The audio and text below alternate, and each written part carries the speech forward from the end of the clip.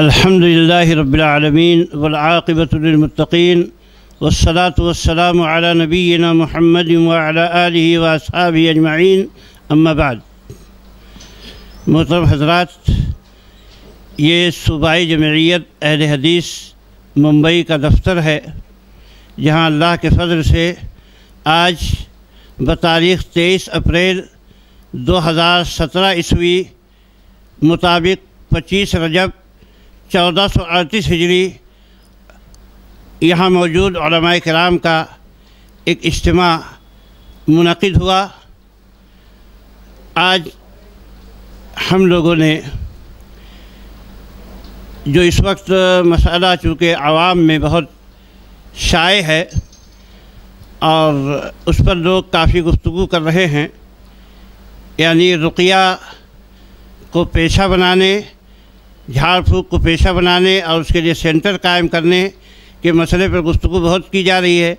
ये मसला तो मुतफ़ रहे है कि भाई रुकिया अपना अपना करना जायज़ है और अफजल है और किसी दूसरे से भी करा लेना जायज़ है, इस पर कोई बात आदमी नहीं करता है ज़्यादा, क्योंकि ये सब के नज़दीक मुतफ़ रहे है। अलबत् अल्लाह के नबी सल्लल्लाहु ने ये तरगीब दी है, उन, की रुकिया आदमी दूसरों से ना कराए क्योंकि उसके ताल्लुक से आपने खसूस फजीलत बयान फरमाई है। और ज़्यादातर तरगीबात अहादीस की रोशनी में यह है कि रुकिया आदमी अपना अपना खुद करे। तो इसकी रोशनी में इस इस बात पर हम सब लोग मुतफ़ हैं। अलबत् मसला आज आजकल ये छिड़ा हुआ है कि रुकिया सेंटर कायम करना और रुकिया के लिए अपने आप को फारिग कर लेना और पेशा बनाना। इस सिलसिले में कराम मौजूद हैं। वो अपनी अपनी गुफ्तु आपके सामने पेश करेंगे। चूँकि रुकिया सेंटरों से और उसको पेशा बनाने से बहुत से मफासद और मुनकरात जुड़ गए हैं।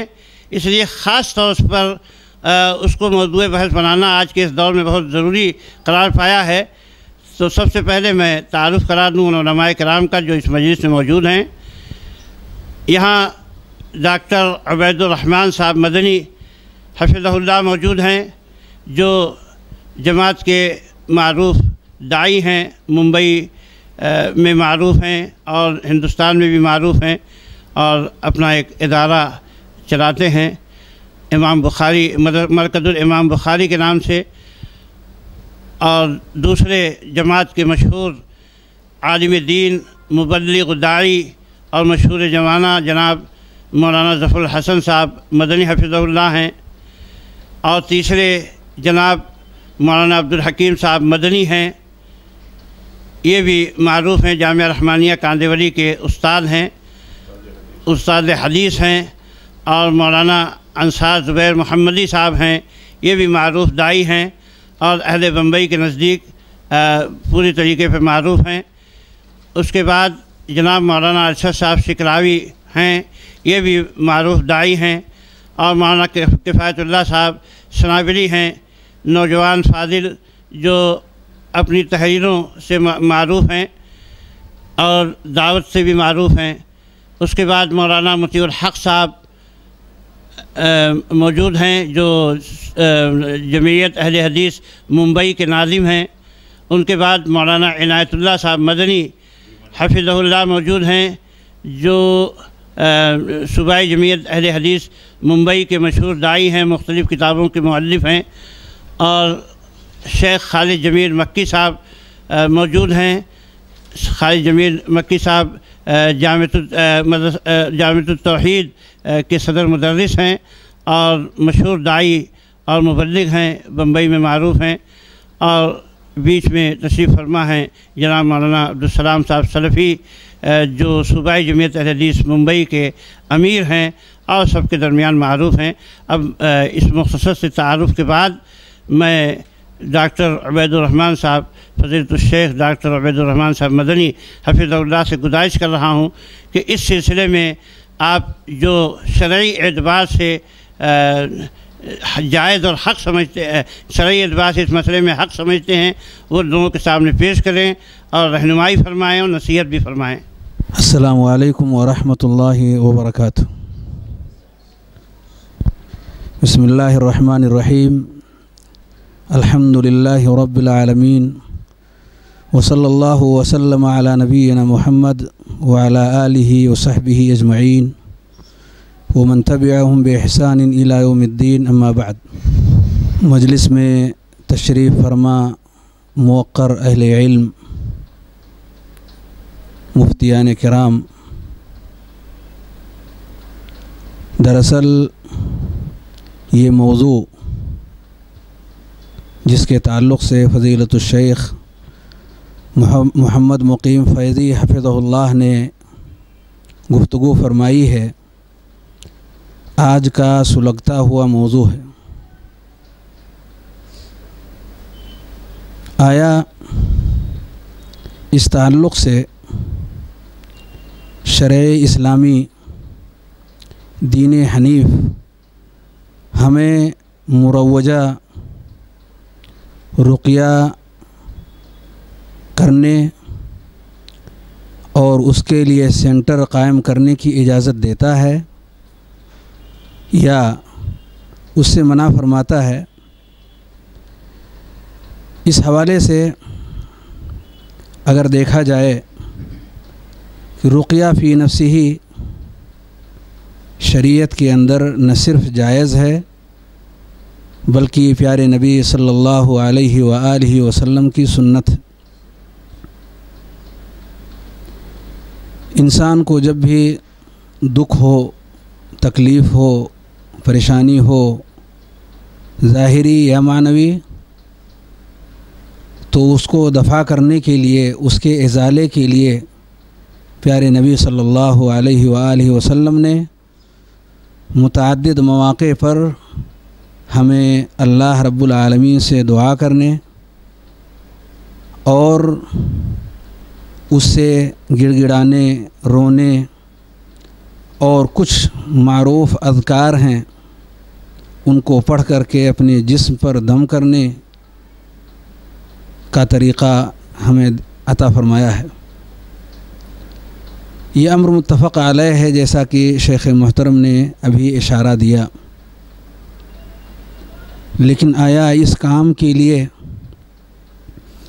लोग मुतफरग हो जाएँ, इसे पेशा बनाएँ, इसके लिए सेंटर कायम करें। अगर देखा जाए तो सलफ़ सालहीन सहाबा और ताबईन के अहद में बावजूद इसके कि अमराज उस ज़माने में भी मुंतशिर थे। लोग तरह तरह की बीमारियों में मुबतला थे ज़ाहरी और मानवी दुख और तकलीफ़ के शिकार थे और प्यारे नबी सल्लल्लाहु अलैहि वसल्लम और आपके सहाबा और ताबईन ने जो तरीक़ा और नमूना लोगों को उस मौके पर दिया कि हर शख्स उन दुआओं और अज़कार का इस्तेमाल करे या किसी आलिम दीन या तकवा शार शख्स की तरफ़ रुजू करते हुए उससे दुआएँ करा ले। एक आम सी बात थी, एक आम सा तरीक़ा था जो नबी करीम सल्लल्लाहु अलैहि वसल्लम के दौर में और आपके बाद के खैरुलक़रून में ये चीज़ मरूफ़ और मुतदावल रही। इन तमाम हाजात और ज़रूरियात के बावजूद लोगों का मुतफरग ना होना, उसे पेशा ना बनाना और उसके लिए सेंटरों का कायम ना करना दरअसल इस बात की तरफ़ मुसलमानों को ले जा रहा है कि उन्हें जहाँ एक तरफ़ नबी करीम सल्लल्लाहु अलैहि वसल्लम के अफ़ाल को इख्तियार करने का नमूना दिया गया है, वहीं दूसरी तरफ़ आपके तुरुक को, जिन चीज़ों को आपने तकाज़ा होने के बावजूद तर्क कर दिया हो, सहाबा ने उस चीज़ को तकाज़े पूरे होने के बावजूद तर्क कर दिए हों, मुसलमानों की ज़िम्मेदारी है, दोनों में वही तरीक़ा अपनाएँ, जो तरीक़ा कि प्यारे नबी सल्लल्लाहु अलैहि वसल्लम और आपके सहाबा और ताबईन ने अपनाया अपने अपने दौर के अंदर। तो ये फ़ी नफ्स ही मशरू है, लेकिन उसके लिए इस तरह के सेंटर्स कायम करना और अपने आप को उसके लिए ख़ास करना, दरअसल ये गैर शर्य अमल है। ऐसे कामों से मुसलमानों को मुकम्मल तौर पर इज्तनाब करना चाहिए, इससे बचना ज़रूरी है। ख़ास तौर से आज के दौर में, जबकि इसके मुतद नुकसान भी सामने आ रहे हैं। अगर उन नुकसान का अहाता किया जाए तो शायद एक दो मजलिस नहीं मुतद मजालिस भी उसके लिए नाकाफ़ी हों। लेकिन इशारता अगर कुछ बातें कही जा सकती हैं कि उसमें अक़दी खलल का ज़रिया और सबब ये सेंटर या इस तरह के राकियों का लोगों के दरमियान मुश्तहर होना ये बन रहा है। और इस तौर पर कि लोग अल्लाह रब्बुल आलमीन पर तवक्कुल करने के बजाय, उस मुसबुल असबाब की तरफ़ रुजू करने के बजाय, उन दुआओं पर एतमाद करने के बजाय, उन राकियों के ऊपर मुकम्मल एतमाद किए और उन पर भरोसा किए, वो पूरे तौर पर नज़र आते हैं। ये दरअसल उनके अक़ीदे का वो खलल है और ये ज़रिया और सबब है। जिससे मुसलमानों को पूरे तौर पर बचने की ज़रूरत है। इसी तरीके से उन्हीं अजीम नुकसानात में से कुछ नुकसान शहवात के कबील से हैं कि ये ऐसा मामला है कि जिसमें आम तौर पर ख़वातीन का की तादाद मर्दों के बनस्बत ज़्यादा हुआ करती है और राकियों का अमूमी तौर पर जो मामला देखने में आया, सुनने में आया, वो कुछ इस तौर पर रहा कि रुकिया तो बरए नाम रहा, लेकिन इज़्ज़त नामूस की धज्जियाँ बिखेर दी गई। रुकिए के नाम पर, दुआओं के नाम पर और शिफा के नाम पर और बहुत सारे लोग इसके शिकार हुए। एक दो वाक़ात नहीं, जैसा कि मैंने शुरू में कहा, बेशुमार वाक़ात हैं इस ताल्लुक़ से। ये ये चीज़ें इस बात की तरफ़ ले जा रही हैं कि मुसलमानों को हर उन ज़राए से अपने आप को बचाना चाहिए जो एक बातिल चीज़ों का सबब बन रही है। इसी तरीके से मुसलमानों के अंदर प्यारे नबी सल्लल्लाहु अलैहि वसल्लम ने एक उसूल ये भी दिया कि बातिल तरीक़े से माल और दौलत ना खाई जाए।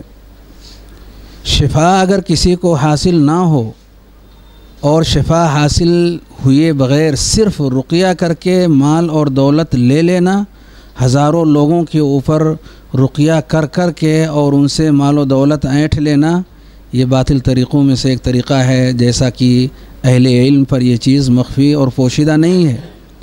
ये ज़रिया और सबब बन रहा है माल को बातिल तरीक़े से खाने का इस बुनियाद पर भी मुसलमानों को इससे कामिल तौर पर इज्तनाब आज के दौर में ख़ास तौर से बेहद ज़रूरी है। इस मौके पर एक आखिरी बात जो मैं कहना चाहता हूँ, वो ये कि जब ये बात कही जाए कि सलफ़ सालहीन का इस पर अमल नहीं रहा, ये तरीक़ा उनके दरमियान राइज नहीं रहा तो वहीं पर लोगों को गुमराह करने के लिए कुछ गैर मुफीद चीज़ें भी सामने ले आई जाती हैं। जैसे कि ये कहा जाता है कसरत के साथ, मनी सता अमिन कुम अन फ़ाखाह फ़ल कि तुम में से जो शख्स अपने भाई को फ़ायदा पहुँचा सकता है, वो कर गुज़रे। मगर ये भूल जाते हैं कि जहाँ मकासद शरीयत की निगाह में मतलूब हैं, वहाँ ज़राए और वसाइल भी मतलूब हैं। ऐसा कि ऐसा नहीं कि मकासद तो शरय हों, मगर ज़राए और वसाइल गैर शरय हों। उसका भी शरय होना उसी कदर ज़रूरी है, जिस कदर की मकासद का शरय होना ज़रूरी है। इसलिए उन शरा, उन ज़राए का पूरा पूरा एतबार करना हम मुसलमानों के ऊपर बेहद ज़रूरी है, जो कि असलाफ से साबित है, प्यारे नबी सल्लल्लाहु अलैहि वसल्लम से साबित। इसमें एक बात तमवीह के तौर पर, गुमराह करने के तौर पर शद्द मद के साथ ये बयान की जाती है कि फिर तो जमीयत और जमात का बनाना भी गैर शरई है, क्योंकि सलफ़ सालहीन से इसका कोई सबूत नहीं मिलता। हमें अपनी जमीयतों को तहलील कर देना चाहिए। ये उसका मौजू तो नहीं है, लेकिन इशारतन कुछ बातें कह देना ज़रूरी है। और मशाइ बैठे हैं इन इसकी तकमील करेंगे।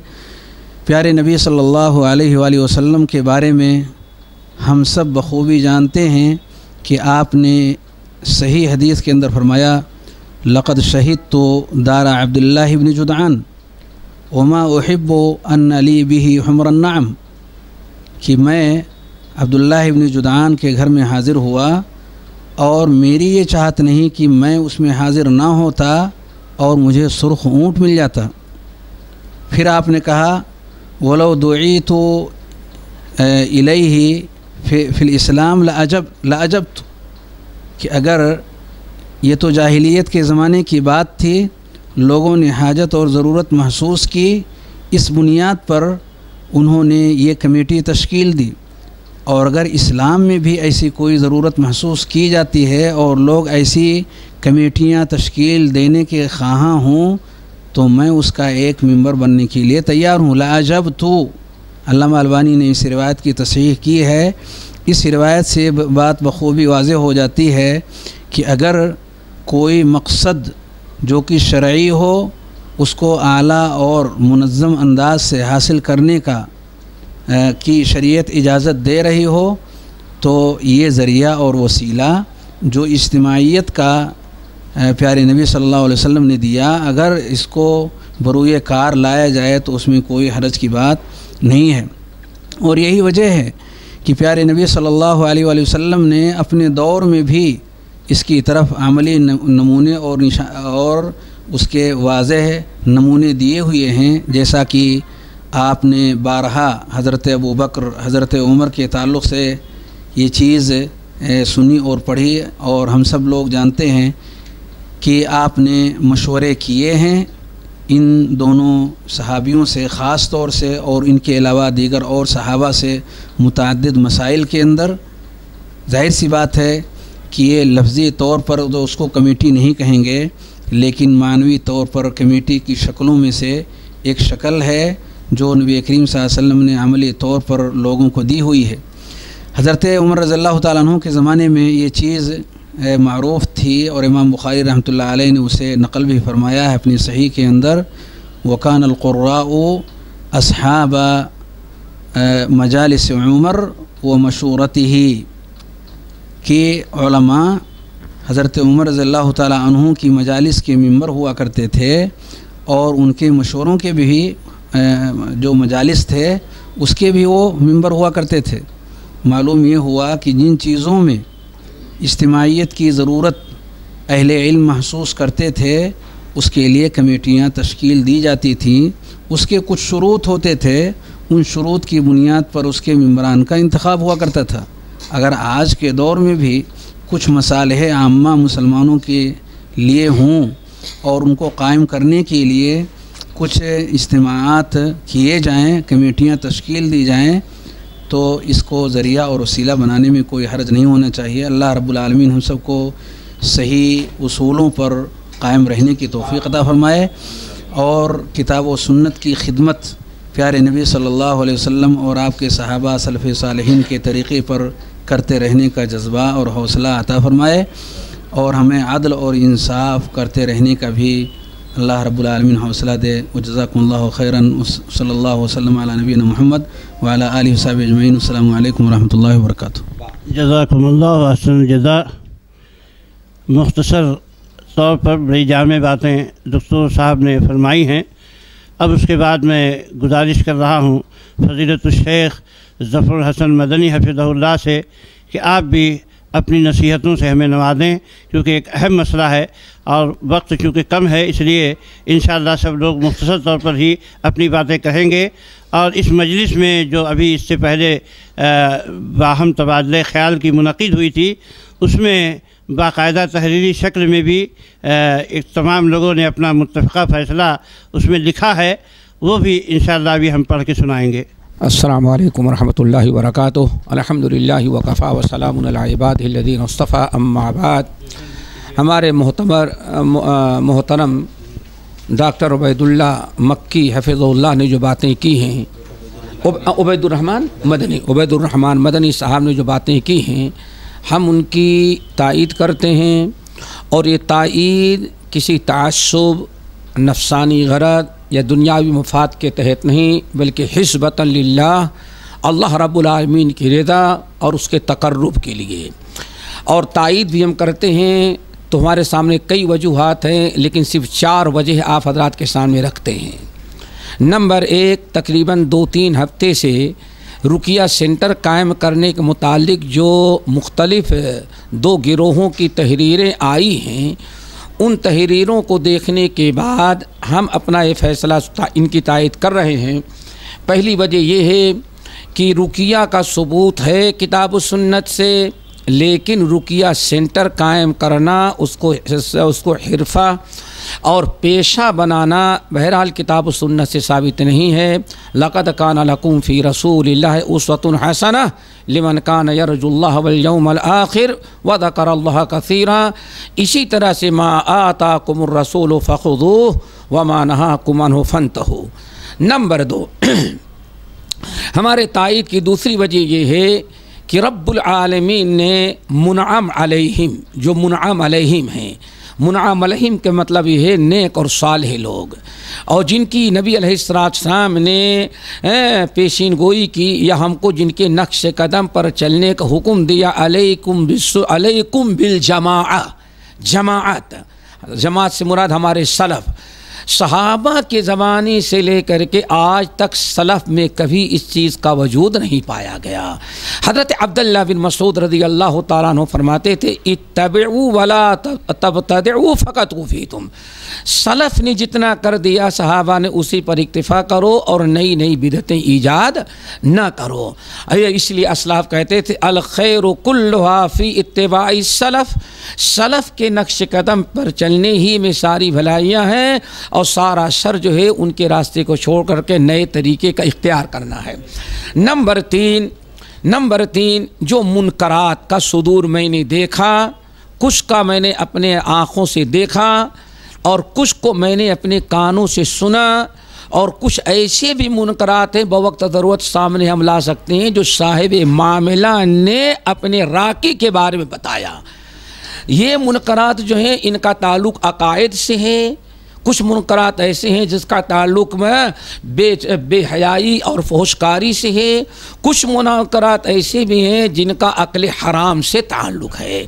बहुत सारे मुनकरात की बिना पर हम कहते हैं रुकिया सेंटर कायम करना शर है, फसाद है, और हम उन उस गिरोह की तायद करते हैं या दस्तूर के जिन्होंने कहा कि बाकायदा रुकिया साबित है लेकिन सेंटर्स का कायम करना ये मुनकरात में से है। नंबर चार, शख्सियात का मामला आता है। हमारे कुछ हजरात हैं जो शख्सियात को हक और बातिल का मैार बनाए हैं। हमारे दो गिरोहों में से एक गिरोह वो है जिसने हमेशा किताब सुन्नत से दलाइल पेश की दूसरे गिरोह ने किताब सुन्नत से दलाइल पेश करने के बजाय सिर्फ़ शख्सियात का पेश किया। और अभी तक मुश्किल से मेरे, मैं समझता हूँ डेढ़ दो शख्सियात का तस्करा आया है और कोई तस्करा नहीं आया है। शख्सियात अगर मुकाबला किया जाए तो मैं समझता हूँ अल्लामा अलबानी रहमत जो इमाम अहदीस, इमाम अहल असर जो थे। मुहदस ज़माना, बहरहाल उनसे ऊँची किसी की हस्ती नहीं। शेख साल फौदान के बारे में से, शेख साल आले आले शेख यानी वज़ीर अलहमदिल्ला शौन इस्लामिया, इसी तरह से और बहुत सारे मशाइ की पूरी एक लिस्ट मौजूद है केबार शख्सियात की। तो मैं समझता हूँ कि हमारी ये सलफ़ जो केबार शख्सियात, इनको पूरी एक जमात है उनके तइद उनके फतवे को कबूल करना बनस्बत एक मुनफरद शख्सियत के फतवे से ज़्यादा काबिल कबूल और वाजिबुल इतबा है। और हमेशा से अहल इल्म का रहा कि कसरतलमा कसरतराय जो होती है कसरतुलदद जो होती है भी एक से क्या होती है? तरजीह। नौ चौथी शख्सियात का मामला आया। नंबर पाँच हाँ न, हम नंबर पाँच जो हमने जिसकी मैंने हम तायद करते हैं वो ये कि कायलीन के दलाइल का मैंने जायज़ा लिया तो सिवाय एक ही चीज़ के हम बहस है बहस होती है रुकिया सेंटर की दलाइल देते हैं रुकिया की। सारे मसाइल हैं सारे दलाइल पेश करते हैं किसके? रुकिया की। और आखिर में आकर के कहते हैं इधर इस चीज़ जायज़ है तो मसलहतन रुकिया सेंटर कायम करने में भी कोई हरज नहीं है। सवाल ये है कि रुकिया का सेंटर कायम करने के जो दलाइल पेश किए जाते हैं आ, कोई एक दलाइल नहीं सिर्फ़ क्या किया जाता है? क्यास। क्यास। और जैसे दुख्तू ने इशारा किया, जमैयात का, मस्जिद में नमाज़ पढ़ने का, लड़कियों को मदरसा कायम करने का, ये सारी मिसालें दी जाती हैं और तमाम अहले इल्म के नज़दीक एक क्यास क्यास माल फारिक है, जिसका कोई तस्वुर इस्लाम में नहीं है। क्यास माल फारिक का, क्यास सही होना चाहिए। जो मिसालें दे करके जिन पर क्यास करते हैं, उनकी असल किताब सुन्नत और अमल सलफ से साबित है। इसलिए मैं हिजबत लिल्लाह, जो भी बात हक समझी, हमने वो उसी के रोशनी में दुख्तूर की तायद की है। मोहतरम हजरात, देखिए, शेख मोहतरम ने बहुत ही वजाहत के साथ बातें पेश कर दी हैं। मैं भी इस हकीकत को फिर से वादे कर देना चाहता हूँ, जबकि बार बार हमने वादे किया कि इस मुंबई की सूबाई जमीयत के जो दुआत हैं, उन्होंने रुकिया के सिलसिले में जो कुछ भी बयान दिए, वो सिर्फ़ मुनकरात व मुखालफात और शरई हुक्म के तहत अपने बयान दिए हैं। उनमें कोई शख्सियत टारगेट नहीं थी, कोई मखसूस सेंटर उसका टारगेट नहीं था। सिर्फ़ जो है शरई हुक्म बयान किया गया है उसका। उसको किसी शख्सियत की तरफ़ मोड़ना या किसी ख़ास इदारे की तरफ़ मोड़ना या उसको कोई दूसरा कदिया बनाने की कोशिश करना, ये कतई मुनासिब नहीं है। और अहल इल्म से मेरी बहुत ही मुद्दबाना दरख्वास्त और गुजारिश है कि वो जब भी अपने बयान दें, इलमी दलाइल की रोशनी में गुफ्तु करें और इस इन चीज़ों को चूँकि अब आवाम में बहुत सारी बहुत जल्दी से बातें फैल जाती हैं, इसलिए कोई भी बात बगैर तोड़े हुए ना करें। और कोई ऐसा लफ्ज़ ना इस्तेमाल करें जो के शायान शार नहीं है। इसलिए कि आवाम पर इसका बहुत बुरा असर पड़ता है। सिर्फ़ दलाइल की रोशनी में गुफ्तु करें अपनी अपनी दलीलें पेश करने का सबको हक़ है, लेकिन यह है कि किसी की तजरीह या इसी तरीके से किसी को खसूस तौर पर निशाना बनाना, ये बातें जो है मुनासिब नहीं हैं। मैं सबसे इस बात की गुजारिश करूँगा, जितने भी बयान आ रहे हैं, उनमें इसका लिहाज किया जाए। अब जो इस सिलसिले में हमारे इस इज्तम में जो बातें तय हुई हैं, इस उनवान के तहत, वो मैं आपको पढ़ के सुना रहा हूँ, जिसको डॉक्टर फजीलत शेख, डॉक्टर उबैदुररहमान साहब हफिज़ल्ला ने तैयार किया है। और तमाम जो यहाँ मौजूद हैं, उन्होंने उसकी तायद की है अ, उसका अनुमान ये है कि रुकिया क्या है और उसका शरई तरीक़ा। रुकिया को पेशा व हरफत बनाना रुकिया के लिए मराकज़ कायम करना या सेंटर खोलना। बिसमीम अल्हम्दुलिल्लाह वस्सलात वस्सलाम अला रसूलिल्लाह व बाद आज बतारीख़ तेईस चार दो हज़ार सत्रह ईस्वी मुंबई व अतराफ़ के मरूफ अहल इल्म का सूबाई जमयत अहल मुंबई के दफ्तर में इज्तम हुआ। जिसमें रुकिया मुरवजा और उसके लिए सेंटर के क़्याम के ताल्लुक़ से गुफ्तु और बातचीत हुई और मंदरजा झेल अमूर तय पाए नंबर एक, रुकिया शरैया यह है कि किताब सुन्नत में वालिद दुआओं को मर्ज से शिफा की गरज से पढ़ कर तकलीफ़ और दुख दूर की और दुख दर्द की जगह पर दम किया जाए। नंबर दो, रुकिया शरैया मशरू है प्यारे नबी सल्लल्लाहु अलैहि वसल्लम से उसका सबूत मौजूद है। नंबर तीन, रुकिया शरैया नाम है दुआओं का, जो इबादत है, जिसमें असल मना है। यहाँ तक कि उसका सबूत किताब सुन्नत से हासिल हो। नंबर चार, इबादत में जिन्स, सबब, ज़मान मकान के साथ मकदार व कैफियत में शरीयत का सबूत ज़रूरी है। नंबर पाँच, सलफ़ सालहीन, सहाबा और ताबीन वगैरह के अहद में मुतद अनवा के अमराज मुंतशिर थे हाजात और तकादे राइज थे हाजात और तकादे राइज सेंटर के क़्याम के मुतकादी थे मगर फिर भी न तो सलफ़ सालहीन ने इस अम्र के लिए तफरुक हासिल किया ना ही उसके लिए सेंटर कायम किया। ये दरअसल सुन्नत तरकिया है जिसकी तफसील अल्लामा इबन क़य्यमिलजौज़िया ने अपनी किताब एलामुलमक़ीन में की है।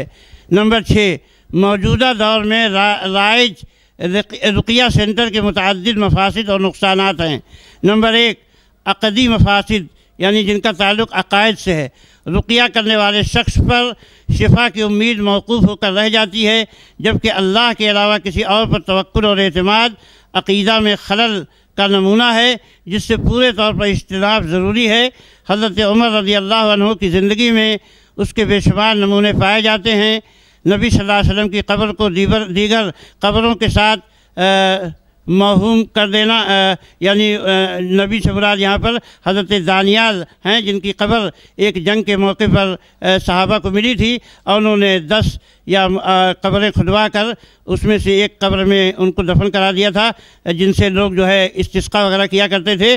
तो इसलिए जो है ये एक नमूना है उसका दरख्त को काट देना, यानी वो दरस जिसके नीचे अल्लाह के नबी सल्लल्लाहु अलैहि वसल्लम ने बैत दी थी साहबा से, हज़रत खालिद इबन वलीद को हज़रत उमर का रज़ी अल्लाह तु का माजूर कर देना, क्योंकि लोगों के जहन में ये बात आ रही थी कि या खदशा था कि ये बात आए कि कहीं फ़तह इन्हीं की वजह से तो नहीं हासिल हो रही है, इसलिए आपने ये सब दरवाजे बंद कर दिए थे।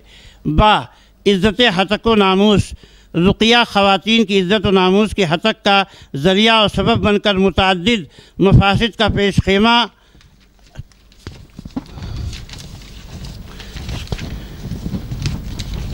साबित हो रहा है, माल व दौलत का बातिल तरीक़ों से हड़प कर लेना। ये भी उसमें दाखिल है, रुकिया करने वाले शख्स का दूसरों के माल व दौलत को मुतद वजूह से हड़प कर लेना।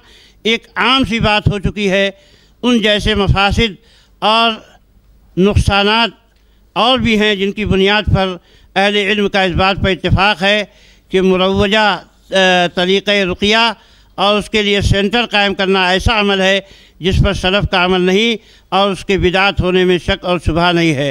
वल्लाह आलम। अस्सलाम वालेकुम वरहमतुल्लाहि वबरकातुहू। अल्हम्दुलिल्लाहि रब्बिल आलमीन। वस्सलातु वस्सलामु अला रसूलिहिल अमीन। वाला आलिहि वसहाबि अजमाइन वमन तबियहुम बेहसान इला यौमिद्दीन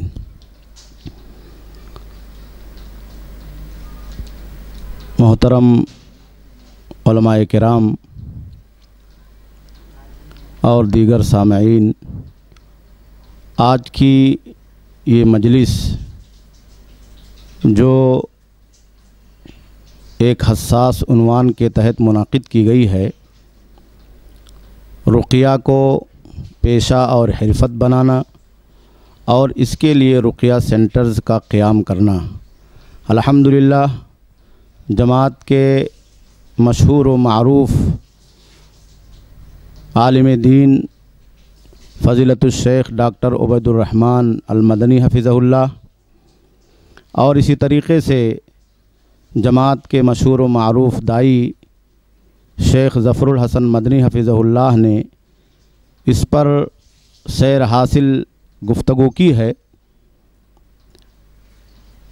जो इस मसले को समझने के लिए बहुत ही काफ़ी और शाफ़ी है। मैं ये समझता हूँ कि रुक़िया शर्या का ताल्लुक़ जहाँ इबादत से है वहीं हमारे और आपके इस्लामी अक़ीदे से भी है।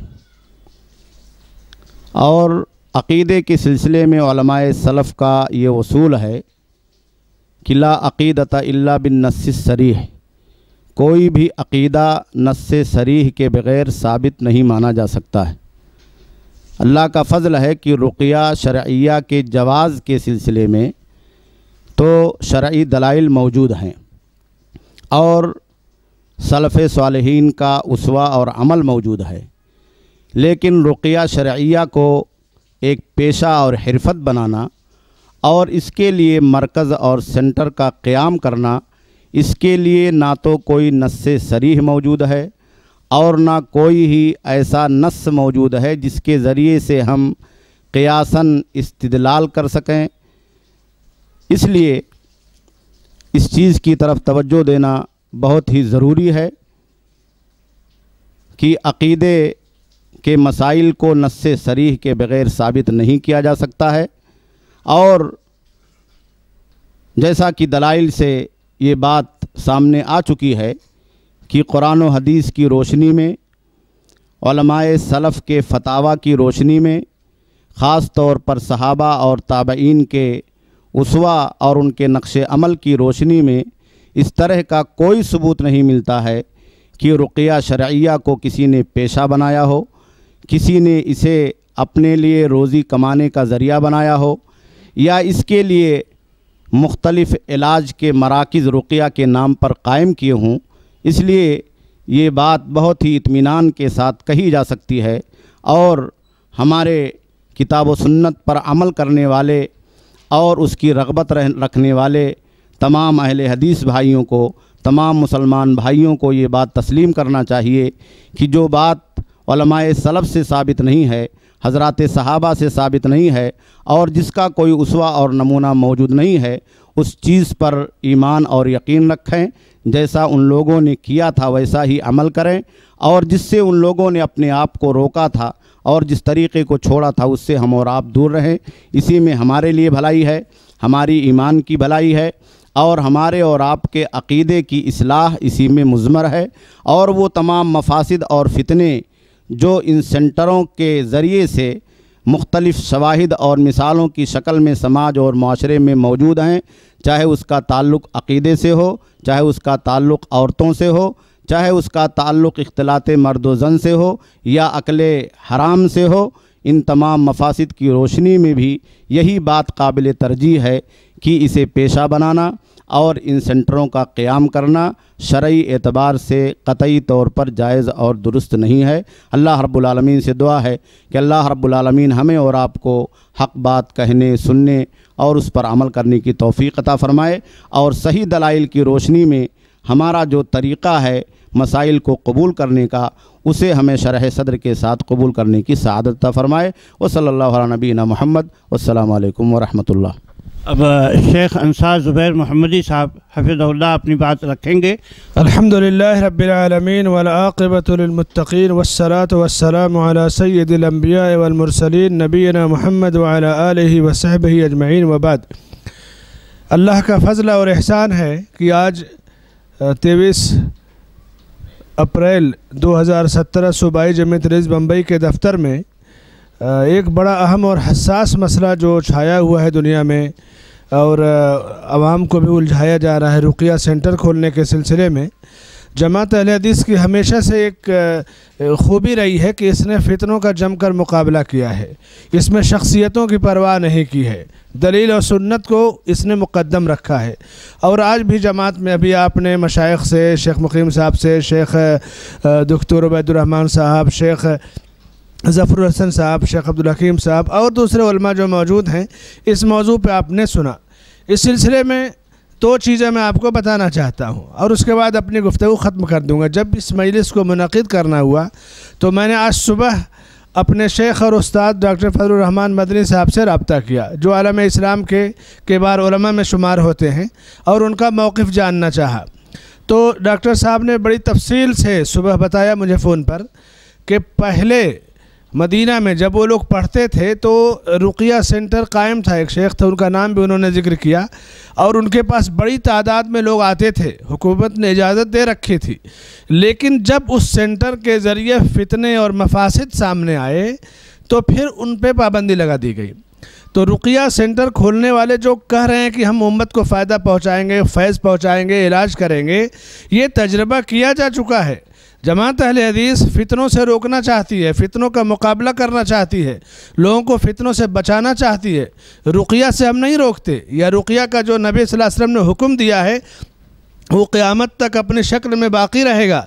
लेकिन जो फितनों का ख़दशा है, उसके पेश नज़र इन सेंटरों को खोलने से जमात हदीस इसका रद्द करती है, मुखालफत करती है। दूसरा जो फतवा शेख मुकीम साहब ने अपने लेक्चर में भी बयान किया है, हमारे शेख लम्मा डॉक्टर साल अलफौज़ान हफिज़ल्ला का, चूँकि आपको मैं ये भी बता दूँ कि जिस तरह डॉक्टर फजलरहमान साहब मेरे उस्ताद हैं, डॉक्टर साल फौज़ान के यहाँ भी मैंने अकीदे की वो फ़िक्र की किताब दलील तालिब का बेश चार साल का अरसा गुजारा है, उनकी बाबा शागिर्दी हासिल की है। तो डॉक्टर साहब का भी फतवा इस सिलसिले में जो देखा, तफसीली तो उन्होंने बड़ी सख्ती से इसलिए रद्द किया है कि जो उसके मफादिस मफासद सामने आए जो फितने जन्म ले रहे थे तो उनके फतवे में जो नुकता है कि फ़ितनों का सद्दबाब हो लोगों को फ़ितनों से बचाया जाए। और वही मौक़ जमात हदीस का है और इन कराम का है। मेरा है मैं उनकी ता, उसकी तायद करता हूँ और अल्लाह से दुआ करता हूँ कि अल्लाह ताला हमें अपने हबीब सल्लल्लाहु अलैहि वसल्लम की सुन्नत पर चलने की तोफ़ी अता फ़रमाए और हर किस्म के फ़ितनों से हमारी जमात हदीस हदीस की और पूरी दुनिया के आवाम की हिफाजत फरमाए। आमीन वसल डॉक्टर शेख जफ़र साहब कह रहे हैं कि डॉक्टर फजल रहमान साहब ने अपनी राय क्या दी है? मैंने ये भी पूछा डॉक्टर साहब से तो डॉक्टर साहब का यही मौक़ है कि जो किसी को फ़ायदा पहुंचाना चाहे, पहुँचाए, जो सुन्नत में है। लेकिन ये जो इस तरह से पेशावर रुकिया करते हैं बड़ी बड़ी रकम लेते हैं और उसके ज़रिए जो फितने और हंगामे खड़े होते हैं, इनके खदशे के पेश नज़र डॉक्टर साहब इसकी तायद नहीं करते। यानी सेंटरों के क़्याम का जो मौजूदा तरीक़ा है, इसको नहीं पसंद करते। लेकिन कोई फ़ायदा पहुँचाना चाहे तो उसकी इजाज़त जैसा कि सुन्नत में है उन्होंने उसकी इजाज़त दी है। जजाकम्ला खैर। अब इन मौलाना खालिद जमीर मक्की साहब सदर मदरस जामतुतौहीद भिवंडी अपने अपने ख्याल का इजहार फरमाएँगे इस मौजू पर। और अल्हम्दुलिल्लाह रब्बिल आलमीन वस्सलातु वस्सलामु अला अशरफिल अंबिया वल मुरसलीन नबीना मुहम्मद व अला आलिहि व सहबिहि अजमईन व मन तबिअहुम बिहसानिन इला यौमिद्दीन अम्मा बाद आज सूबाई जमीयत अहल हदीस मुंबई उज़मा के दफ्तर में शहर मुंबई हिंदुस्तान बल्कि अरब भी आज इसमें, इस एक मसले में उलझे हुए हैं, वो मसला है रुकिया सेंटर के क़याम का और इसी तरीके से रुकिया को सनात हरफत बनाने का। रुकिया जिसका ताल्लुक़ इंसान के दुख, दर्द और तकलीफ़ से है। और इस हालत में हर इंसान आजमाइश में होता है। हमारा दीन एक कामिल दीन है। अल्लाह तबारक ताला ने हमारे लिए हमारी खुशहाली और हमारी बदहाली और हमारे दुख और तकालीफ़ तमाम हालात में अल्लाह तबारक ताला ने इस दीन को एक रहनुमा वसूल अता किए हैं, जिसकी रोशनी में हम अपनी ज़िंदगियाँ गुजारें। बीमारी एक इंतहाई आजमाइशी एक वक्त है इंसान के लिए जिसके अंदर उमूमन इंसान भटकता है। तो अल्लाह तबारक ताली के यहाँ इस चीज़ का इलाज ना हो या किताब सुन्नत में इसके लिए रहनुमाई ना हो, ऐसा हो ही नहीं सकता। अल्लाह तबारक ताला ने इस आजमाइश से ख़ुद हमारे नबी सल्लल्लाहु अलैहि वसल्लम को भी दो चार किया और आप सल्लल्लाहु अलैहि वसल्लम हमारे लिए और आपके असहाब हमारे लिए इस सिलसिले में उसवा और नमूना है।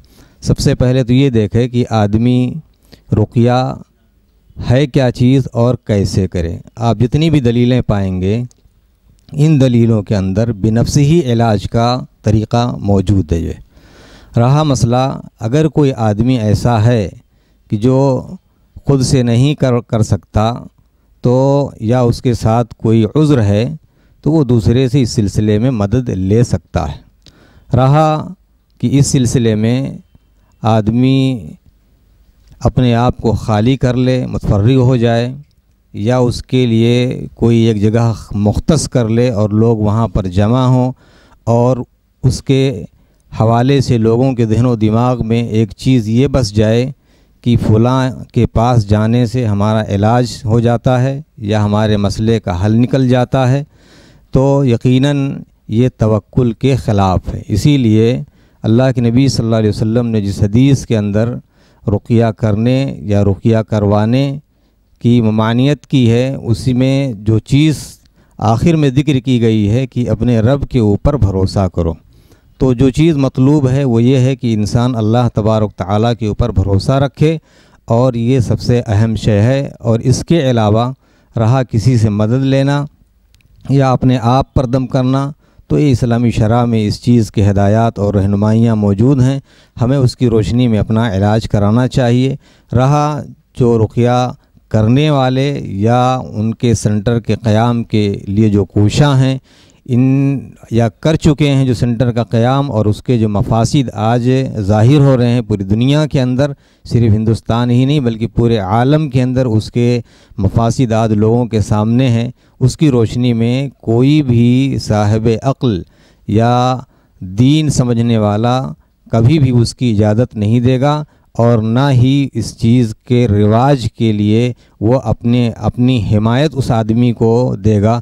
इसलिए हमें चाहिए कि हम इस चीज़ से बाद रहें और लोगों को बाज रखें और ख़ुद एहतियात करें और लोगों को इन मफासद से आगाह करें। अल्हम्दुलिल्लाह, आज एक मुदाकर इल्मिया इस सिलसिले में यहाँ सुबह जमीयत हदीस, मुंबई अदमा में मुनद हुई। इस शहर के किबार कराम आज इस मजलिस में इस मजलिस में शरीक रहे। उन्होंने अपनी रायें दी हैं। अल्हम्दुलिल्लाह, शेख डॉक्टर ओबीदुररहमान हफिदुल्ला शेख हसन मदनी हफिदुल्ला और दीगर शहर के किबार कराम इस मजलिस में शरीक रहे और उनका मुतफ़ा एक फ़ैसला, अल्हम्दुलिल्लाह ख़ती तौर पर किताबती शक्ल में इन आएगा। इससे हम तमाम लोग और जो लोग आज इस मामले में उलझे हुए हैं, इससे उनके लिए रहनुमाई हासिल होगी। अल्लाह तबारक ताली हमेशा हमें खैर को अख्तियार करने की तोफ़ी कता फ़रमाए।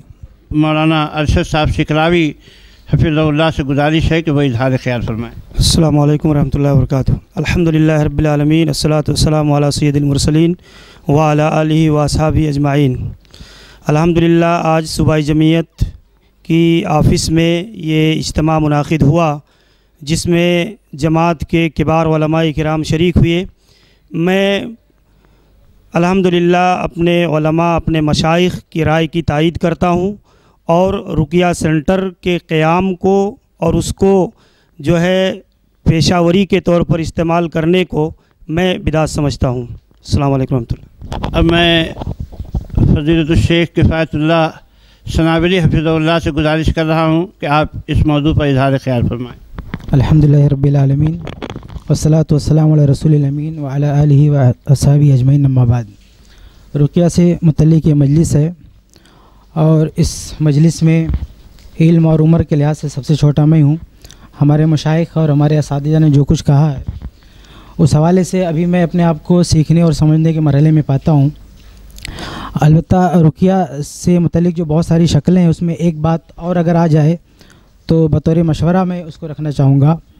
वो ये कि जो सही मुस्लिम वगैरह की हदीस में लास्तरकून का लफ्ज़ है, जिसकी सेहत पर सबका इतफ़ाक़ है, कि इस्लाम ने रुकिया कराने की हौसला अफजाई नहीं की है बल्कि उसका हौस, उसकी हौसला शिकनी की है।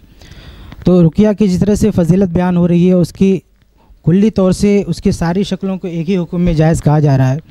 तो जो जायज़ शक्लें हैं उसमें भी दर्जा बंदी है। आदमी ख़ुद अपना रुकिया करता है। तो ये अफजल बात है बहुत अच्छी बात है। फिर आदमी अगर दूसरे का रुकिया करता है किसी के तलब पर करता है वहाँ का इख्तलाफ आ जाता है। सही मुस्लिम में एक लफ्ज़ है लायरकून उस पर एक लंबी बहस है, मैं उसकी तरफ़ नहीं जाऊँगा। लेकिन वहाँ उलमा का इख्तलाफ है, उस पर भी बात होनी चाहिए कि उसका क्या हुक्म है। और एक तीसरा दर्जा है, यस्तरकून इस तरह का, कि रुकिया तलब करना। तो इस बारे में तो तकरीबन उलमा का इतफ़ाक़ है कि ये चीज़ बहुत अच्छी नहीं है। इस्लाम ने इसकी हौसला अफजाई नहीं की है कि दूसरों से जाके रुकिया कराना। लेकिन अब जो लोग रुकिया कर रहे हैं या रुकिया करा रहे हैं, उनकी ये जहन साजी नहीं हो रही है कि ये इससे हमको बचना चाहिए।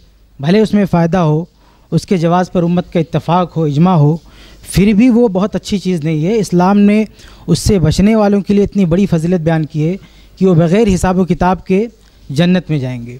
तो ये बात भी लोगों के सामने रखनी चाहिए कि एक छोटी छोटी फजलतें के, के लिए हम कितना तगोदो करते हैं। हाँ कुछ लोग अजीब अजीब फजलत बयान के कि कोई जो है रात भर नमाज़ पढ़ रहा है कि इससे ये मिल जाएगा। कोई पता नहीं कितनी बिदातें ईजाद करके लोग ये कर रहे हैं, ये कर रहे हैं, ये मिल जाएगा। लेकिन इसमें इतनी बड़ी फजीलत है कि लास्तरकुन को रुकिया नहीं कराता तो बगैर हिसाब किताब के वो जन्नत में जाएगा। और इस हवाले से बाज़ लोग जो ये कहते हुए नज़र आते हैं कि इससे मुराद ये है कि जो गलत रुकिया नहीं कराएगा उसके लिए है। तो ऐसा नहीं, हदीस का जो पूरा पस मंज़र है, जिस वाक़े पर यह हदीस सुनाई गई है, वो वाक़ जायज़ रुकिए का है। कि एक शख्स ने जायज़ रुकिया कराया, उस पर यह हदीस पेश की गई। कि अगर ये ना होता तो ये फजीलत थी। तो हदीस का पस मंज़र बतला रहा है कि वो नाजायज़ रुकिए से मुतलिक नहीं है, बल्कि जो जायज़ रुकिया है, उससे अगर बचा जाए तो इतनी बड़ी फजीलत है कि बगैर हिसाब किताब के आदमी जन्नत में जाएगा। तो रुकिया से मुतलिक ये बात भी लोगों के सामने आनी चाहिए कि ये बहुत अच्छी चीज़ नहीं है रुकिया जाके लोगों से तलब करना या रुकिया कराना। वाखिर शेख इनायतुल्ला मदनी हफीज़ल्ला से गुजारिश है कि वो इस मौजू पर अपना इजहार ख्याल फरमाएँ। अलहमदिल्ला रबालमीन वसलात वसलम अशरफ़िलम्बिया महमद वाली वसहबी अजमाइन, उबाद। अहल इल्म की इस मजलिस में, जिसमें रुक़िया सेंटर के क़्याम और उसके लिए तफ़र्रुग खाली होकर के, जुज़वी या कुल्ली तौर पर उसे पेशा बना कर के कारोबार चलाना और लोगों का इलाज करना, इसकी शरी हैसियत क्या है? इस सिलसिले में ये मजलिस मनद हुई है। वैसे तो बहुत ही वाजह बात इससे पहले आ चुकी कि रुकिया शरिया की मशरूत वगैरह के सिलसिले में सलफ़ खलफ़ में किसी का कोई अख्तिलाफ़ नहीं रहा है और इसी वजह से यहाँ भी अल्हम्दुलिल्लाह कोई अख्तिलाफ़ नहीं है। इसलिए इस पर बिला वजह की लंबी बहस करना और लोग रुक़िया शरिया के लिए, रुक़िया के नाम पर मरवजा रुक़िया को रुक़िया शरिया का नाम देते हैं और उसके लिए सेंटर वगैरह कायम करके, उसके लिए जो दलीलें पेश करते हैं, उनमें कोई दलील सेंटर के क़्याम से मुतक़ नहीं होती, सिवाय इसके कि रुक़ये से मुतक़ आयतें, हदीसें वगैरह वो पेश करते हैं। मसला ये है कि एक बात तो यह है कि नबी करीम सल्लल्लाहु अलैहि वसल्लम के दौर में, आपकी सुन्नत में, आपकी सीरत में और ऐसे ही सलफ़ के दौर में कहीं भी इलाज के लिए इयादात का क़्याम नहीं किया गया, सेंटर्स का क़्याम नहीं किया गया इसका कोई सबूत सरफ़ के दौर में नहीं मिलता है। अब इस वक्त मुश्किल ये है कि हमारे वो अहबाब जो इसे कायम कर रहे हैं और कायम करके उनका सिलसिला, काम का चल रहा है, वो इलाज कर रहे हैं, पैसे ले रहे हैं या नहीं ले रहे हैं बहरहाल, उनके यहाँ जो एक बहुत बड़ी दलील है, वो ये कहते हैं कि गरचे सलफ़ के दौर में रुकिया सेंटर वगैरह नहीं था, लेकिन इस वक्त बहुत सारे मरीज़ हो गए हैं और औरतें हैं, मर्द हैं, छोटे, बड़े और मुख्तलिफ़ अंदाज की बीमारियों में मुबतला हैं। इसलिए उनके इलाज के लिए मुस्तकिल इंतज़ाम कर देना और उनके लिए आने, रहने, बैठने और इलाज करने वालों, यानी जो रुकात हैं, राकी हजरात हैं उनके उठने बैठने रहने की जगह वगैरह का इंतज़ाम करना ये मसलहत के तौर पर है, मसलहत की बुनियाद पर है। असल में ये है कि इसे कायम करने वाले मसलहत समझते हैं। लेकिन जैसा कि अहल इल्म की मजलिस, की गुफ्तु में कई लोगों के यहाँ ये बात आई है जिसमें रुकिया रुकिया सेंटर के क़्याम और उसके लिए तफर्रुग के लिए, के सिलसिले में ये बातें भी आई हैं तफसील के साथ कि उसमें अकदी नुकसान हैं, उसमें माली यानी अकल हराम का मसला है, उसमें इज़्ज़त नामूस ख़तरे में है, उसके अंदर बेज़ती है, उसके अंदर जनाकारी, बदकारी तक के वाक़ात पेश आते हैं और गैर महारम के साथ देर तक रात, देर तक बैठना और उनके जिसमों से जिसम लगाना, हाथ का इस्तेमाल करना, सर और जिसम के मुख्तलिफ़ जगहों पर हाथ का इस्तेमाल करना, रुकिया करने वाले जैसा कि करते हैं और इसका कोई इनकार नहीं कर सकता। आँखों से देखी हुई बातें भी हैं और अमली शवाहिद और अमली मिसाल मिसालें नमूने दलाइल ख़ुद असहाबुल असहाब वाक़ जिनको हम कह सकते हैं बहुत सारे दलाइल मौजूद हैं। तो आ, मैं ये अर्ज़ करना चाहता हूँ कि रुकिया सेंटर्स के क़्याम और उसके लिए तफरग और उस पूरे कारोबार को चलना और चलाना ये सारी चीज़ें मसलहत के नाम पर की जा रही हैं। इसमें कोई मसलहत नहीं है, बल्कि ये अकदी नुकसान ये माली, ये समाजी, ये अखलाक अखलाक, किरदार और ये हया और आबरू वग़ैरह के जो मुख्तलिफ़ नुकसान हैं, यही नुकसान हैं जिसकी वजह से इसे जमीयतों और मदारस बच्चों के या बच्चियों के वग़ैरह का हवाला दे करके कि जैसे ये मसाल आमा हैं मसाल मुरसला हैं, इसी तरह से ये अयादात भी और ये सेंटर्स भी मसाल मुरसला के कबील से हैं। दरअसल ये बिल्कुल उल्टी सी बात है। ये मदारिस, ये मसाजिद, ये जमीयतें, ये सारी चीज़ें बिलाशुबा मसाल मुरसला हैं। लेकिन ये अयादात और ये रुकिया सेंटर्स का क़्याम, ये हमारी आँखों के सामने है कि मसाल मुरसला नहीं है, बल्कि ये मफासद आमा है मफासद मुरसला है। और इसकी मिसालें हमारी आँखों के सामने हैं। एक नहीं, बल्कि दसियों से, बीसियों से, उन अहबाब से, उन भाइयों से, बहनों से हमारी बातें हो चुकी हैं। जिन्होंने बहुत सारे रुकात से रबता किया और गए और उनसे इलाज करवाया और उसके बाद अपना तजर्बा अमली बयान किया कि उसमें कैसे कैसे मसाइल पेश आते हैं अकायद का ख़तरा है और आ, असल ये है कि इसकी बुनियाद पर तवाहम परस्ती बड़ी तेज़ी के साथ फैल रही है और जहाँ रुकिया सेंटर नहीं होता वहाँ लोग शर्य तरीके के मुताबिक किसी किसी से भी कहते हैं, अपने भाई से, कि भाई ज़रा रुकिया पढ़ दीजिए, मुझे फ़ला तकलीफ़ है, कि बहन अपनी बहन से कह देती है, आप ज़रा रुकिया पढ़ दीजिए। लोग पढ़ देते हैं, बह, भाई भी पढ़ देते हैं, बहनें भी पढ़ देती हैं। लेकिन जहाँ भी रुकिया सेंटरों का क़्याम हुआ है, तजर्बा बताता है अमली तौर पर कि आधी आबादी से ज़्यादा लोग मरीज़ हो जाते हैं। जिनों का हमला हो जाता है, जादूगरी हो जाती है, टोने और टुटके का पूरा सैलाब उमड़ आता है। तो ये सारे मफासिद हैं, इसलिए बर करम रुकिया सेंटर्स के लिए मफासद को समझें और ये मफासद आँखों के सामने है। इसे मसलहतों का नाम न दें और न इसे मसाजिद पर मदारस पर और दीनी और दावती कामों के लिए जमीयात के क़्याम पर क़यास करें। अल्लाह वास्ते इस तरह की हरकत न करें और इंसाफ से काम लें बड़ों से छोटों से। सबसे गुजारिश है दरख्वास्त है मुद्दबाना मुखलसाना कि अल्लाह वास्ते इस सिलसिले में संजीदगी से गौर करें। गरचे कभी बज़ाहिर वक्ती तौर पर कोई चीज़ मसलहत महसूस होती है और आ, मैं समझता हूँ कि अगर रुकिया के सेंटर के क़्याम की अगर गुंजाइश भी शरीयत में होती और सलफ़ के अंदर उसका सबूत भी मिलता तो सलफ़ के दौर की शफाफियत की बुनियाद पर उसे तस्लीम किया जा सकता था। लेकिन आज के इस दौर में उसके मफासिद की वजह से सद ज़रिया के तौर पर उसे मना कर दिया जाता, उसे हराम और नाजायज़ करार दिया जाता। इसलिए अल्लाह वास्ते इस बात को समझें, रुकिया सेंटरों का क़्याम सलफ़ सलफ़ सालहीन के दौर में नहीं था, आज भी नहीं होना चाहिए। और जो चीज़ सलफ़ के दौर में नहीं रही है, ज़ाहिर है कि वो सुन्नत नहीं हो सकती, वो बिदात है। इसलिए इन बिदती कामों से बचें और अपने आप को इन अकीदे और अमल के मफासद से मजरात से बचाएँ। आवाम को भी इस इस सिलसिले में बहुत ज़्यादा होशमंदी से काम करना चाहिए। लोग समझते नहीं हैं, अपनी बहनों को, बेटियों को, छोटे बड़ों को, इन अयादात में और इन रुकिया सेंटरों में भेज करके इलाज करने की कोशिश करते हैं और एक से दो तजर्बे में उन्हें पता चल जाता है कि इन रुकिया सेंटरों में कैसे कैसे नुकसान अकीदे के अमल के हो रहे हैं। मैं अपने तमाम बड़े अपने तमाम सरपरस्तों की इस मजलिस में जो राय आई है, मैं भी उन्हीं के साथ हूँ और उनकी पुरजोर तायद करता हूँ और अल्लाह से दुआ करता हूँ कि अल्लाह तबारक ताली सबों को, हम सबको अल्लाह ताली अपने नबी अलैहि वसल्लम की सुन्नत पर चलने की तोफ़ी अदा फ़रमाए। हम सलफ़ी हैं, अल्लाह ताली हमें राह सलफ़ पर गामजन रहने की तोफ़ी अदा फ़रमाए। हमें कहीं भी अल्लाह ताली आज़ादी से, आवारगी से बचने की तोफ़ी अदा फ़रमाए। हमेशा तमस्सुक की एहतसाम की तोफ़ी अदा फ़रमाए। आमीन रबालमीन वसलम वबारक नबी महमद वाली सबीन अल्लाम वरहमल वर्क अब सुबह जमीयत के अमीर जनाब मौलाना अब्दुलसलाम साहब सलफ़ी हफिज़ल्ला से गुजारिश है कि आप भी इस मसले पर इजहार ख्याल फरमाएँ और जमात के अहबाब को नसीहत भी फरमाएँ। अल्लाम वरहमल वर्क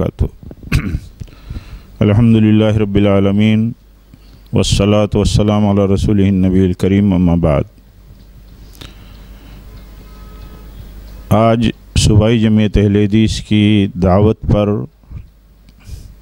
मुंबई और मजाफात मुंबई के किबार यहाँ तशरीफ़ लाए। अल्हम्दुलिल्लाह, अल्लाह सबों को जजाय खैर अता फ़रमाए। और मौजूदा इस हसास मसले पर जो आलमी सतह पर चल रहा है, रुकिया मुरवजा के मसले पर एक तफसीली गुफ्तु हुई और इस इत्तेफाक के साथ आपको तमाम सामीन को ये पैगाम देने की कोशिश की गई ताकि इन वलमा का ख़याल और राय भी आप तक पहुँच जाए। आपने जो बातें अभी सुनी हैं, मैं उसकी तायद करता हूँ और इस मौके पर इस खुशी का इजहार भी करता हूँ कि इस मजलिस में एक कॉन्फ्रेंस के मुनासबत पर जमात के और आलम इस्लाम के मशहूर सलफ़ी दाई फजीलतुलशेख ज़फ़रुलहसन साहब मदनी भी तशरीफ़ लाए हुए थे। वो भी यहाँ जमीयत की इस मजलिस में शरीक हो गए, ये इत्तेफाक था और उनसे भी इस्तेफ़ादा और उनका भी ख्याल सुनने का अल्हम्दुलिल्लाह हमें मौका मिल गया। मैं आखिर में इस सराहत के बाद कि हम सब इस मसले पर मुतफ़ हैं कि रुकिया का जो शर्य तरीक़ा है, हम सलफ़ी हैं, अहलुल हदीस हैं, हमारे लिए दलील वही है जो हदीस और सुन्नत में है और जो सलफ़ के तरीक़े में है, अमल के अतबार से भी और तर्क के अतबार से भी। इसलिए जो तरीक़ा शरा से साबित है, रुकिया का, हम उसी तरीक़े को अपनाएँ और जो तरीक़ा साबित नहीं है, उसको अख्तियार करने से परहेज़ करें। रुकिया के लिए मराकज़ का क़याम, इसी तरह रुकिया के लिए अपने आप को फारिग करना चाहे पेशा बना करके, चाहे बिला पेशा, बिला पैसा के लिए हुए। ये तरीक़ा भी दुरुस्त नहीं है। बड़ी सराहत के साथ के बार वलमा ने इस पर गुफ्तु की है कि कोई आदमी अगर बिला पैसा और उजरत के लिए भी ये काम करे तो वो भी दुरुस्त नहीं है। और इस सिलसिले में देखिए, आज मौजूदा हालात में जो ये मसला छिड़ा हुआ है और लोग मुकाबला आरइयों पर अहल इल्म और शख्सियात को लेकर के उतरे हैं, ये दुरुस्त नहीं है।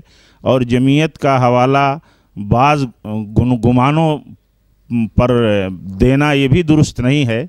मैं अपनी बात आपसे अर्ज़ कर रहा हूँ कि देखिए, मुमरा में 2000 पहले से हम लोग रह रहे हैं।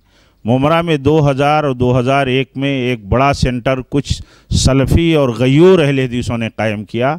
इस हवाले से कि इससे अकीदे की असलाह होगी इससे हमारे अहल हदीसों की ज़रूरियात पूरी होंगी। गैर अहल हदीसों को हम अहल हदीस और सलफ़ी बना सकेंगे। लेकिन मैं आपको यह बताना चाहता हूँ, आज भी हमारे वो अज़ीज़, गैरतमंद नौजवान मौजूद हैं जिन्होंने कायम किया था, कराया था उसके लिए फ्लैट किराए पर ख़रीदा था और उसकी पूरी सरपरस्ती कर रहे थे। उन्होंने अपने तजर्बों से गुज़र करके देख करके उस, उन उन मफासिद को, जो वहाँ मरकज़ पर हो रहे थे, राकी के ज़रिए हो रहे थे, उन्होंने ख़ुद अपने हाथों से उसे ख़त्म किया और कोशिश करके उस राकी को मुमरा से भगाने की में कामयाबी भी हासिल की। तो ये तजर्बे हैं बहुत लंबे तजर्बे इसे जमीयत या इसे रुझानात की तरफ़ ले जाना मैं समझता हूँ। ये बदगुमानियों में से है। मसला जमात के सामने, अहल इल्म के सामने, मतवातिर हवालों से ये है कि इसके मफासद कसरत से हैं। जब ये चीज़ साबित हो कि सलफ़ का ये तरीक़ा नहीं है तो हमारे लिए सबसे असलम और महफूज तरीक़ा यही है कि हम वो तरीक़ा छोड़ दें जो सलफ़ का नहीं है। पहली बात। दूसरी बात ये कि उसके साथ मफासिद इतने कसरत से हैं बाज़ सेंटरों में काम करने वाले रुकात ने तौबा की और बाकायदा बाकायदा मुनाकशा किया उन लोगों से जो सेंटरों के सरपरस्त और बानी थे। उन सारे लोगों से मुनाकशा करने के बाद वो अलग हुए और अलग होने के बाद भी ये तफसील बहुत है। लोगों में जा जा के बताते हैं कि किस तरह मतलब सेंटरों पे पंचानवे परसेंट से ना अट्ठानवे परसेंट तक लड़कियाँ और औरतें आती हैं और वहाँ जो सूरत हाल है, वो अकीदे की ख़राबी के साथ, अखलाकियात की ख़राबी का बहुत ज़्यादा है। तो ये ये, ये सारी चीज़ें सामने हैं वलमा के जमात के जो लोग मुल्क में ख़ास तौर पर हिंदुस्तान में नेपाल के इलाक़ों तक जो फैला हुआ ये फसाद है और इसके मुनकरात और मफासिद जो हैं उनकी बुनियाद पर अहल इल्म जिन्हें तजर्बा है वो बराह रास्त कहते हैं कि ये चीज़ दुरुस्त नहीं है। ये कोशिश इसलिए नहीं की गई मौजूदा वक्त में ये कोशिश अल्हम्दुलिल्लाह जारी है। मैं अपने तई आपको बताना चाहता हूँ 2000-2001 से मैं इस तरीक़े की मुखालफत करता हूँ और अपने ज़रिए से, अपने उसलूब, अपनी सलाहियत से लोगों को मना करता हूँ। इस तरीक़े ने सबसे ज़्यादा वहम फैलाया, अकीदे को कमज़ोर किया, अखलाकियात का नुकसान हो रहा है, इख्तलात आम है, उस मजलिस को, एक मजलिस को मैंने मुमरा के उस सेंटर पर भी देखा था। मैं उस मजलिस में जाने के बाद नज़र पड़ी फ़ौर लौट आया, कहा, इस मजलिस में नज़र भी डालना, ये गुनाह का काम हो सकता है और ऐसा सेंटर चलाया कैसे जा सकता है? इसलिए इसलिए इस पर गौर करने की ज़रूरत है। मैं अहल इल्म से, केबार वलमा से और जो मतलब उम्मत के हमदर्द और सलफ़ियत के मतलब रहनुमा और कायद हैं, उनसे गुजारिश करूँगा कि आप संजीदगी से उन फसादात का जायज़ा लीजिए जो फसादात इन मराकज़ से फैल रहे हैं और उन तोहमात को देखिए। वहम और खौफ सबसे बड़ा इस इस पेशे में लगे हुए लोगों का जो तरीक़ा है, आम तरीक़ा वो ये है कि शैतान और ख़बीस का सबसे पहले दिलों में डर बिटाते हैं। वहम पैदा करते हैं। ये तरीका ख़ुद इस बात की दलील है कि इस पर रोक लगनी चाहिए। इसलिए कि ये ये ख़ुद बहुत बड़ा फसाद है, जिससे अल्लाह के नबी सल्लल्लाहु अलैहि वसल्लम ने ख़बरदार किया था कि शैतान का खौफ अगर तुम्हारे दिल में बिठाया गया तो शैतान तो तुम्हारे दिलों में आकर के आबाद हो जाएगा और वो अपना सीना चौड़ा करेगा कि मेरा डर डर लोगों के दिलों में बैठ रहा है। आज हर बीमार को, हर बीमार के घर में यह खौफ बैठाया जाता है कि तुम्हारे ऊपर खबीस है, जिन है, शैतान है, तुम्हारे घरों में शैतान बैठा हुआ है। ये आम तरीक़ा है रुकात का। इसलिए बहुत संजीदगी से इस पर गौर करने की ज़रूरत है इन मफासिद के हवाले से, जहाँ एक इलमी मसला है, वसूली मसला है, उसके साथ साथ इन मफासिद का भी मसला हमारे सामने रहना चाहिए। ये गुफ्तु इसलिए ज़रूरी थी ताकि हम सब जिस सूरत हाल से गुज़र रहे हैं जो कुछ देख रहे हैं जमात के सामने, उम्मत के सामने और तमाम मुसलमानों के सामने इसको रखें और अहल इल्म आगे आएँ। बाज़ बड़े उलमा से- के ताल्लुक़ से सुन करके बड़ी खुशी हुई कि उन्होंने जायज़ा लेने के बाद बसराहत कहा कि ये दुरुस्त नहीं है। मैं समझता हूँ कि इस सिलसिले में लोग संजीदगी से गौर करेंगे, पता लगाएँ। मैं नहीं समझता जितने रुकात को मैं जानता हूँ, उनके ताल्लुक़ से कोई इतमान बख्श रिपोर्ट मिली हो कि इनका तरीक़ा शरई तरीक़ा है। वल्लाह, ये बात कह रहा हूँ। मुझे जिन जिन रुकात के सिलसिले में इल्म है, उनके ताल्लुक़ से खुराफात और मफासिद के सिवा कुछ नहीं मिला। मैं इसका इनकार नहीं कर सकता कि लोग सही तरीके से रुकिया नहीं करते हैं, लेकिन जिन राकियों के बारे में मालूम मिली, वो मालूम सही नहीं मिली। अल्लाह से दुआ करता हूँ कि रब्बुल आलमीन हम सबको सलफ़ी हैं, सलफ़ के तरीक़े पर चलने की तोफ़ी दे। और जो फसादात फैले हुए हैं, इन फसादात के सिलसिले में रब्बुल आलमीन हमें समझ अता फ़रमाए और हमें कोशिश की तोफ़ी दे कि हम उम्मत को, जमात को इन नुकसान से, इस हवाले से बचा सकें। वाखर दावाना अलहमदिल्ला रबालमीन वालकम वरहमल वर्क जजाकम्ला खैरन। इन हमारी ये मजलिस नफ़ा बख्श होगी। और अल्लाह के फजल से जो बातें यहाँ अर्ज़ की गई हैं, दलाइल की रोशनी में जज्बात से बालातर होकर इन उम्मत की खैर खाही में बातें कही गई हैं। फिर मैं इस बात को दोहरा रहा हूँ कि ये मिशन किसी ख़ास आदमी, किसी ख़ास सेंटर के ख़िलाफ़ नहीं है। ये आम मफासद, आम मुनकरात के ख़िलाफ़ है। इसीलिए जो बुज़ुर्ग हजरात भी इसको कोई शख्सी रुख देने की कोशिश कर रहे हैं। मेरी उनसे बहुत मदबाना दरख्वास्त तो गुजारिश है कि लिल्ला फिल्ला आप लोग इसको शख्सी रुख न दीजिए, क्योंकि इससे क्या होगा, मफासिद पीछे चले जाएँगे और शख्सी अख्तलाफात से जो शैतान फ़ायदा उठाना चाहता है, वो शैतान फ़ायदा उठाएगा। मैं बहुत ही मदबाना दरख्वास्त है।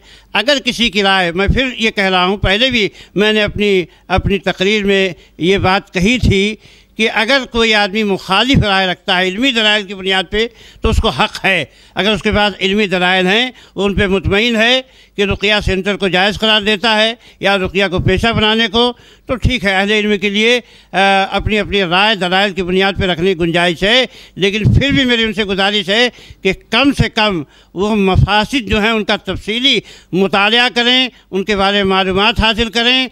और मफासद के सिलसिले में खुली नसीहत दें, इजमाली गुफ्तु ना करें एक एक मसले पर तफसील से गुफ्तु करें, ताकि ये मालूम हो जाए कि जो भी आदमी रुकिया कर रहा है और एक आम आदमी भी समझ ले कि इसके अंदर क्या मुनकरात पाए जा रहे हैं, क्या मुखालफात हैं, अकीदे की क्या खराबियाँ हैं, वो सब बातें खुल कर लोगों के सामने आ जाएँ, कोई बात ढकी छुपी ना रहे, कोई धोखा न खा सके ले हया मन हयाम बई दिन ताकि जो जिसको जो है जीना हो दलाइल की बुनियाद पर जिए और जिसको हिलाक होना हो, मन हर का हर काम बैना मेरी ये गुजारिश है।